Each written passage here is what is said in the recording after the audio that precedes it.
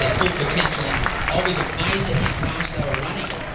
Yeah, we've said all along about three minute kilometres, but we are going to go to our presentation now, um, guys, very shortly for our medal presentation.